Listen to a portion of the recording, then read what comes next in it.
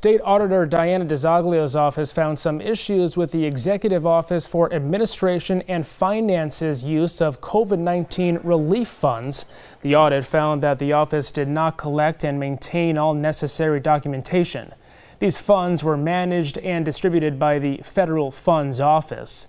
DiZoglio recommends that the office creates a former procedure for tracking all federal funding, including maintaining an accurate list of debarred contractors.